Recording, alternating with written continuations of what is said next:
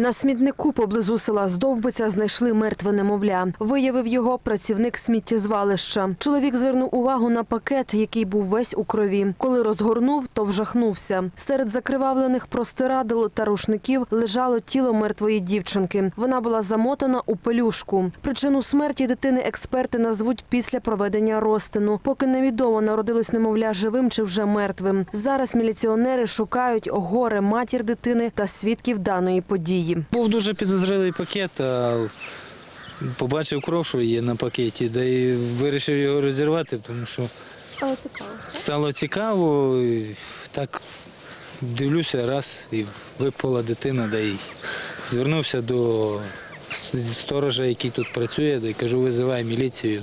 Таких людей просто треба, не знаю, що треба з ними робити. Це не хороші, не добрі люди. Що, що я можу сказати? Це не є люди, які, наприклад, мріють про це, гроші сумасшедші платять.